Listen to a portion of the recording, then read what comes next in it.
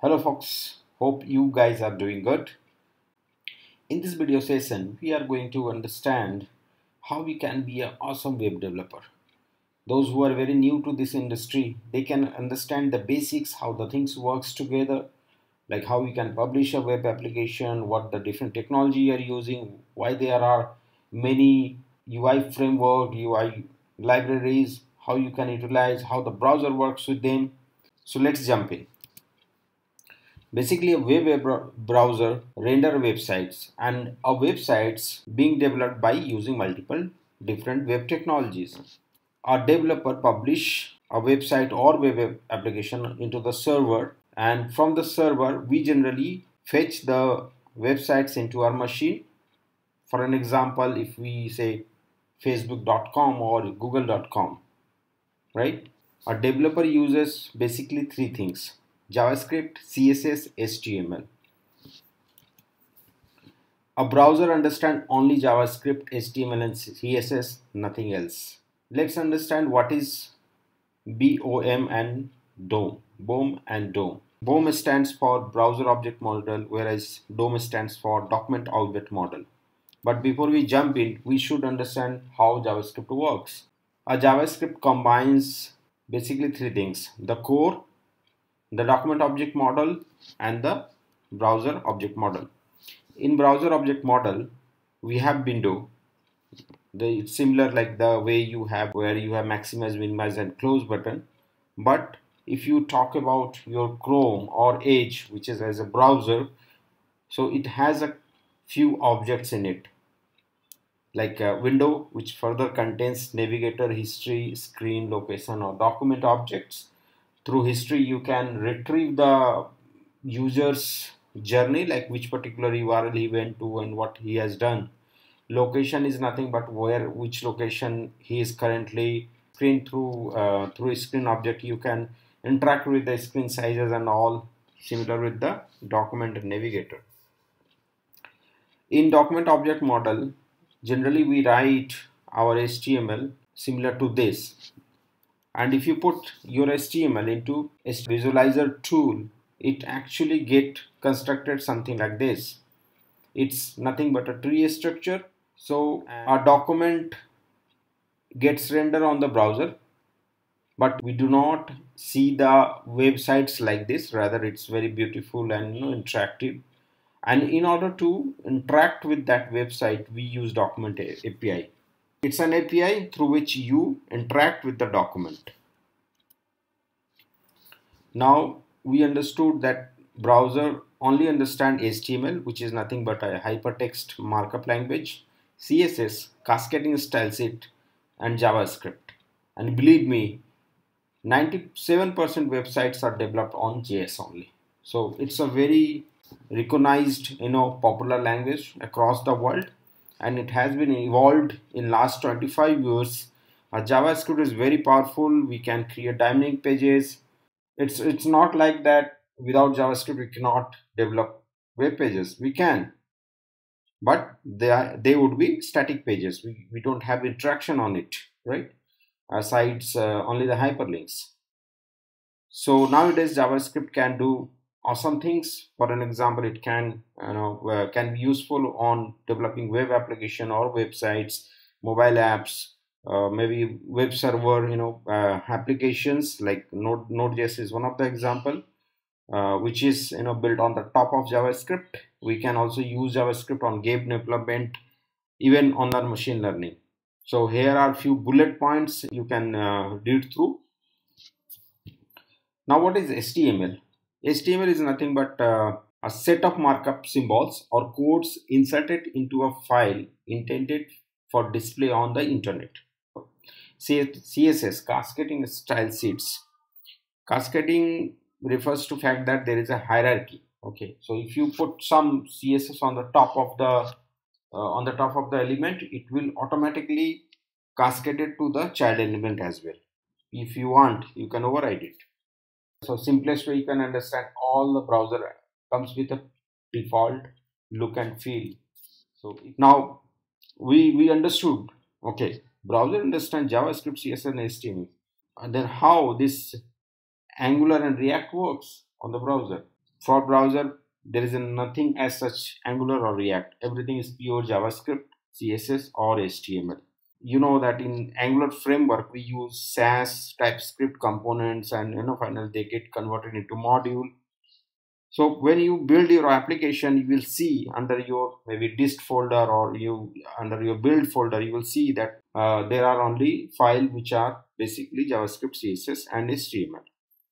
So here Angular and React, the difference between is that Angular is a framework, React is a library, but you know we can develop our application by using both of them. They have their own features that you know I have discussed in different videos. You can watch out but you know before that you should build your basic understanding there is a concept of transpiling which is nothing but a process to convert the typescript into javascript in day-to-day -day life we deal with a lot of technology so i am trying to segregate how the things in which area. So if you talk about the front end we are we, we do use angular react javascript or vue.js whereas on the back end there is a node net python. Uh, on the database side we have mysql sql server oracle which which actually contains a persistent state. So for an example uh, our websites whatever we are feeding into the form that is not getting permanently stored right? If you refresh your website everything will be gone. Whereas if you store it into the database it can be retrieved further right? Through uh, through the backend technologies. On the code management sites we have github bitbucket tfs to where you know check in your code and check out your code which means you push your code to the to the particular server and then where you, you know you can merge different branches maybe if you wish i can bring another video where you get a fair idea like how we you know put different branches and merge merge that right? So do comment on that part if you want. I would love to record another video on it. Cloud. So why cloud is required? Cloud nowadays is very much important. Whatever you see like for example if you see amazon.com right? You never find that amazon is down. Why because there is a mechanism of kubernetes where it automatically scale up different nodes on the cloud if there is a huge demand. So uh, during the sale time you know there is a load on a particular website so automatically it creates another instance and you know deploy it. You never know and when it, it, it the loads comes down it actually scale down as well. So most of the things are nowadays automated but yes uh, uh, cloud is nothing but where you know you do not need the expensive hardware and uh, you know big setup at your home or maybe in somewhere rather uh, these technologies are being provided by a giant organization like uh, Amazon, Google, or Microsoft. Now, how we develop our application. So, if you are developing something from scratch and you know that I need to target different users who can use our application into mobile, tablet, laptop, or desktop, or on bigger screen.